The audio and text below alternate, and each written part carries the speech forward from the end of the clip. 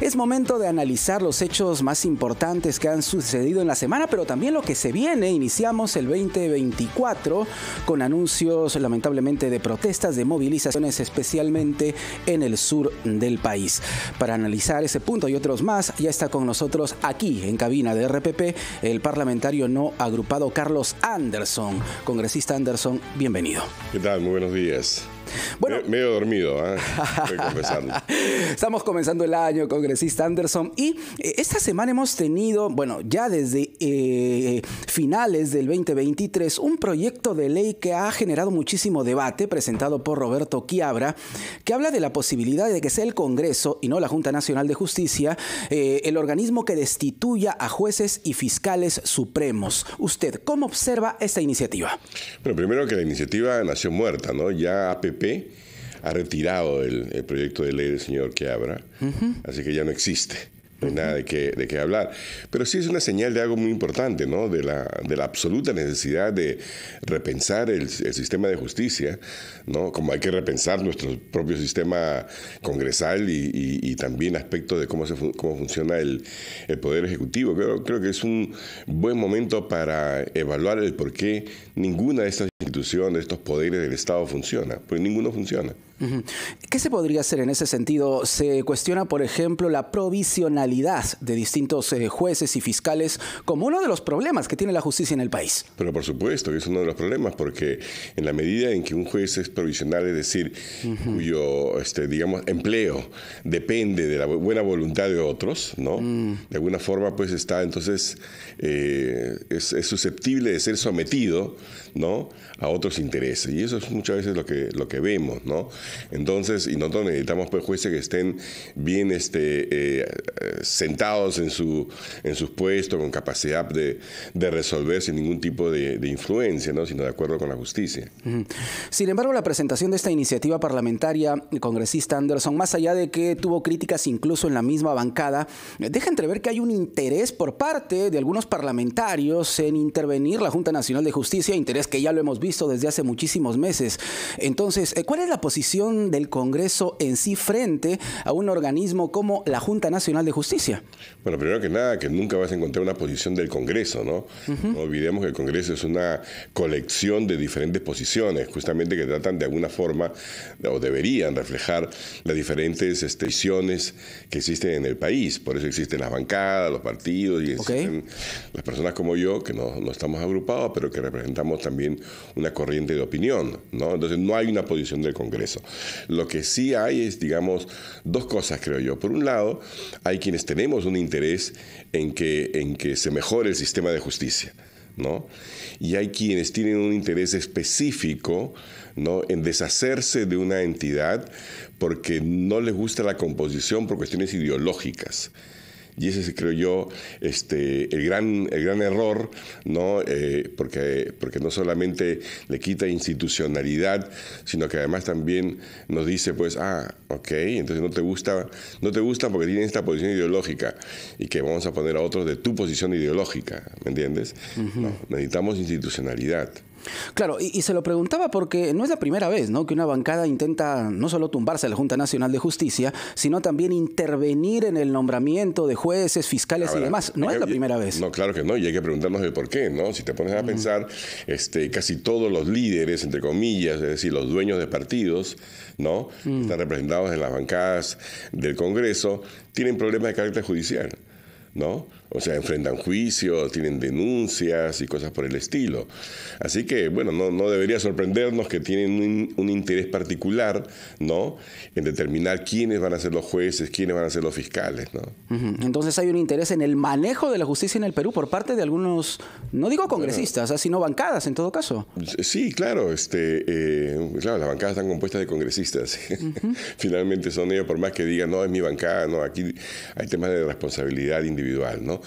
Sí, mira, a mí no me cabe, no me cabe duda que eso es eh, lo que los motiva, es decir, intereses de carácter o personal o de grupo, no necesariamente este, un interés eh, por el país. Un interés por el país significaría decir, bueno, este, por ejemplo, eh, debería nombrarse una comisión especial multi, no sé, este, que tenga participación de la ciudadanía, de expertos internacionales para ver cómo reformamos todo el sistema de, justicia, ¿no? Porque no puede ser que en pleno siglo XXI todavía no hayan expedientes electrónicos, que todo siga siendo de papel, que todo, que, nadie sepa la cita, que haya una, justicia del siglo pasado. Del siglo, XVIII, ¿no? Entonces todo, todo es oscuro, todo es sometido a lo que diga el secretario, el, secretario técnico, el juez, plata por aquí, plata por allá. O sea, cualquiera que ha tenido el, infortunio de enfrentarse a un, a, o tener que acudir al Poder Judicial sabe de lo que estoy hablando, ¿no? Hay cero transparencia ¿no? Este, Todo tipo de, coimas, todo tipo de, situación realmente este, irregular, ¿no? Ilegal. O sea, lo que debería ser el Palacio de la Justicia se convierte finalmente en el Palacio de la Injusticia. Mm, sí, definitivamente, porque este debate, al menos congresista Anderson, debería llevarnos a algún lado, ¿no? A reformular todo lo que se refiere al sistema de justicia. Pero por supuesto, pero para eso tiene que haber primero limpieza de propósito, ¿no? Este, y cuando tú tienes pues que hay más bien interés en decir, no, no, yo quiero que se reforme, pero para que me beneficie a mí, ¿no? O beneficia a mi jefe o a mi jefa, y, etcétera, entonces ahí todo eso se tuerce, ¿no? Cuando hablamos de jefes o jefas, estamos hablando de los líderes de los partidos políticos. Eh, exacto, por supuesto. Bueno, vamos a otro punto que también continúa en el centro del debate congresista Anderson y es el que se refiere a la inseguridad ciudadana. Hemos escuchado propuestas eh, alternativas que han sido enviadas incluso desde el Ejecutivo. Sin embargo, parece que poco nada estamos avanzando, ¿no? 5.000 nuevos policías han ingresado, según la eh, presidenta Dina Boluarte. ¿Esa es la solución? ¿Estamos hablando solo de un problema de número? Son varias cosas. Lo primero que nada, acuérdate que el, Ejecutivo pidió este, eh, facultades excepcionales para poder legislar en materia de seguridad, ¿no? Yo no he visto que haya legislado nada, uno, nada importante, nada transformacional, ¿no? El tema de los 5.000 policías, la brecha, según los propios este, dirigentes, bueno, el propio cuerpo policial, eh, es más o menos de 40.000 policías. Mm. Así que si son 5.000 por año, pues son 8 años para llenar para llenar el vacío, ¿me entiendes? hay, regiones, hay, regiones, del país... No cuadran, no cuadran los números. No, no cuadra. Hay regiones del país donde hay dos policías por cada mil personas. Este, o sea, así no se puede realmente este, eh, ejercer, digamos, autoridad y ofrecer seguridad ciudadana, ¿no? Ahora, no es un tema solamente de números, es un tema de recursos, porque ¿qué pasa si tú mandas cinco mil personas, diez mil, veinte mil, qué sé yo, sin, sin armas, sin chalecos que valgan la pena, no esos chalecos que caramba este, le tiras balita de, de, qué sé yo, de goma y le hace un hueco, ¿no? O sea, ¿qué es lo que tenemos? O sea, este, tenemos policías desprotegidos, con falta de entrenamiento. Como ellos tienen que comprarse sus balas, no, no van a hacer pues, prácticas de tiro. Entonces, cuando tienen que enfrentarse realmente al crimen, están en desigualdad de condiciones en todo sentido, desde el punto de vista de apertrechamiento, desde el punto de vista de, facultades, ¿no? etcétera. Entonces, este, eh, tengo entendido, por ejemplo, que la escuela de oficiales es un desastre todavía. Entonces, si tú no le das los recursos, y eso es lo que yo este, a veces trato de que la gente entienda, ¿no? A ver, la seguridad es un bien público. Es exactamente como decir, necesito un puente para cruzar, ese es un, bien público, es una necesidad. Mm. Pero para poder, digamos, satisfacer esa necesidad hay que gastar. ¿No? El gobierno tiene, tiene, que, tiene que gastar en ese bien público. La ciudadanía está reclamando a gritos, ¿no? Que se le dé seguridad, que se invierta en, esto. el, Ejecutivo dice que hace, pero no no hace, ¿no? Mira, el plan que tiene la propia policía al 2030 para llevarla a su nivel implica una inversión de 1.350 millones de dólares por boca de, propio, de, ellos mismos. Así es. Pues yo he conversado. 1.350 millones de dólares no es nada si lo que queremos es realmente tener seguridad ciudadana en el país. Congresista Anderson, y la gran pregunta es, ¿por qué no se hace? ¿Qué falta? Falta decisión. Vamos a analizarlo, por favor. Decisión y liderazgo. Continúe con nosotros. Carlos Anderson, parlamentario no agrupado, está aquí en Ampliación de Noticias. Hoy y más. Volvemos. Esto es RPP, la voz de todo el Perú.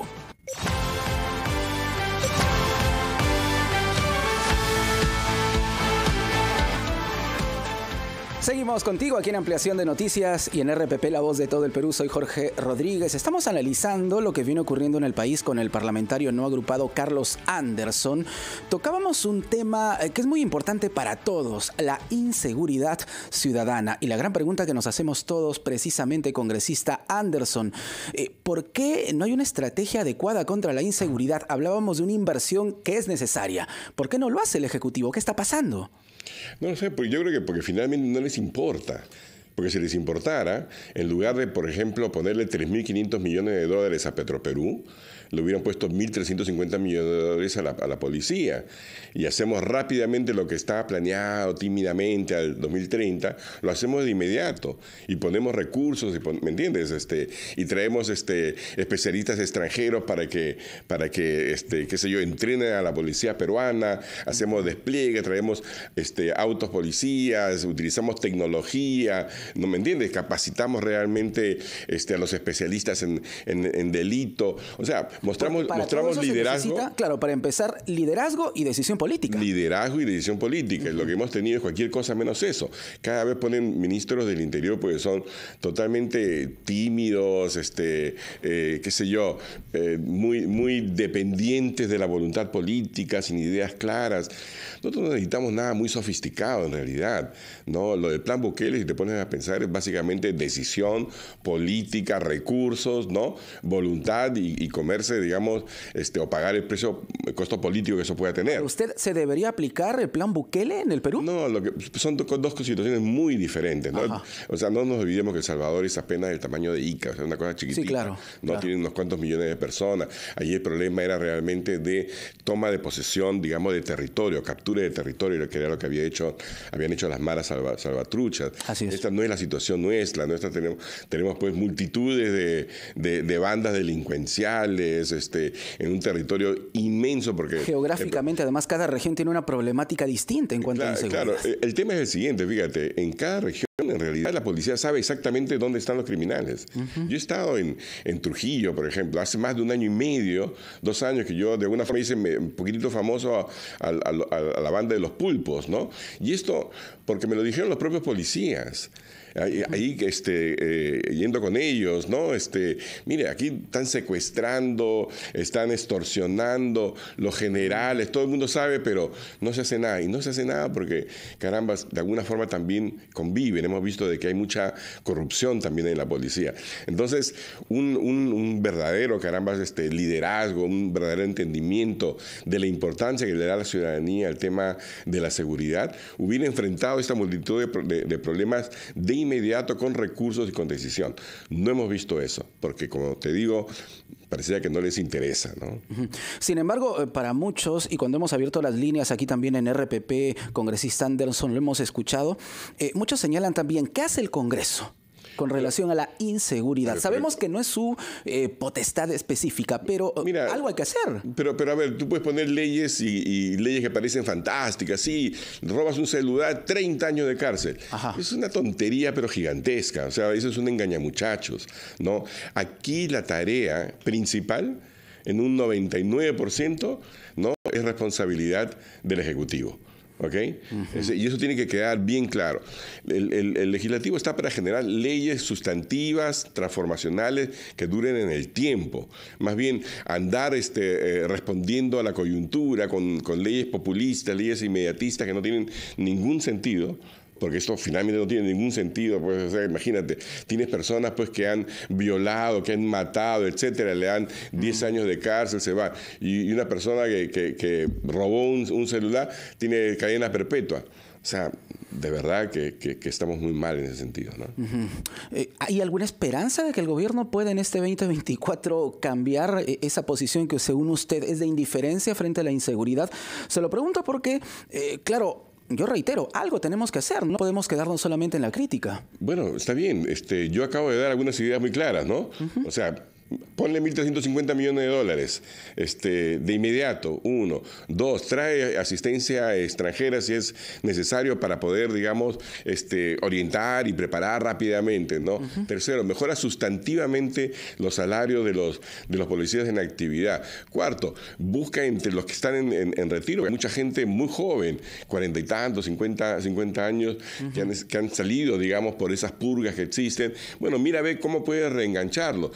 Quinto, este, saca a todos los policías que están en temas administrativos, sácalos a las calles, pon gente civil en, en temas administrativos. O sea, esto no es una fórmula secreta ni nada por el mm. estilo. Mm. Nuevamente, tú lo has dicho, decisión, voluntad política y la forma de mm. hacerlo es justamente que la ciudadanía sigan abriendo los teléfonos, hagamos que se, que se, que se les escuche a, los ciudadanos que, reclaman, que reclaman que el Estado les provea de un bien, que es un bien público, que es seguridad, que es fundamental para la vida de las personas. Sí, aquí en RPP siempre escuchamos a nuestros oyentes y televidentes. Eh, nos queda un tema por tratar, congresista Anderson, y es muy importante tiene que ver con las movilizaciones eh, sociales. Están cumpliendo ya un año eh, el pico más alto de estas movilizaciones en el país.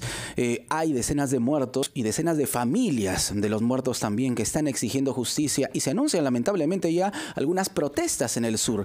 ¿Qué tiene que hacer el gobierno para afrontar esta complicada situación? Mira, primero que nada tendría que haber desde un principio reconocido de que hay un costo político, ¿no? Nunca lo quiso hacer. La señora Boluarte nunca este, ha expresado realmente que está dispuesta a pagar ese costo político. ¿Qué significa eso? Tendría que haber pues este, cambiado al ministro de Defensa responsable en esos momentos, ¿no? Este, que después resultó ser su primer, su primer ministro. Hablamos de Alberto Tarola. Alberto Tarola, por supuesto, ¿no? O sea, hemos tenido todo un año de un personaje que no ha sido elegido por nadie, dejémoslo bien claro, el señor Tarola no ha sido elegido por nadie, es un funcionario nombrado a dedo por la señora Dina Boluarte, pero que de alguna forma se ha erigido prácticamente en el presidente del Perú. Él es el que manda, él es el inamovible, es el todopoderoso. Alberto ¿no? es el que manda en el país. Pero totalmente, él es el que manda. ¿no? A, punto tal que la señora Boluarte después no, no tiene cómo sacarlo. No, no importa qué, no importa el tipo de denuncia, no importa que, que, por ejemplo, por su presencia en particular, es que vamos a tener todas estas manifestaciones, ¿no? Este, eh, toda la complicación del Ministerio Público y todo lo demás tiene que ver, ¿no? Con la este, investigación fiscal a la participación de, señor de, señor, de la señora Boluarte y en particular eh, de, Alberto, Tarola. ¿no? En, en todo esto. Así que, que nada, es lo primero. Y eso lo reclaman, por supuesto, las familias de la víctima y en las regiones en el sur. Nosotros, la señora Boluarte se ha dejado, pues, este, le ha importado poco convertirse en la presidenta, ¿no? De dos tercios del Perú, porque un tercio del Perú sencillamente la rechaza y ella no ha hecho nada por acercarse. Ella ha preferido una y otra vez irse de viaje por aquí, por allá, etcétera. Pero tú la has visto ir a Purímac, la, has, visto ir a Ayacucho, ir al Cusco, ir a Puno que esa es su tarea, ¿no? Esa es su responsabilidad. Pregunta final, congresista Anderson. ¿Alberto Tarola debe dar un paso al costado? ¿Debería renunciar? Debe dar 10 pasos al costado, mi estimado. Hace rato. Hace rato. Él no ha sido elegido por nadie más que por la señora Boluarte. Que la señora Boluarte tenga la suficiente, que te digo, calidad de estadista, un poquito, ¿no? Para que deje bien en claro de que no puede seguir teniendo a alguien al lado, no solo que le hace sombra, sino que ejerce el poder, ¿no? Este, con, tal claridad que la deja ella pues como la segunda. Muy bien, clarísima su posición. Muchas gracias, congresista ah, Anderson. Carlos Anderson, congresista no agrupado aquí en Ampliación de Noticias. Volvemos con más. Esto es RPP, la voz de todo el Perú.